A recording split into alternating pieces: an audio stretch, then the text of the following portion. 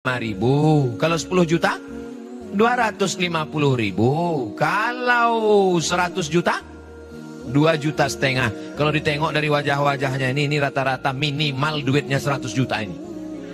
Dari bunyi aminnya macam tak yakin. Amin. Ibu ada duit 100 juta. Sudah lewat 85 atau belum?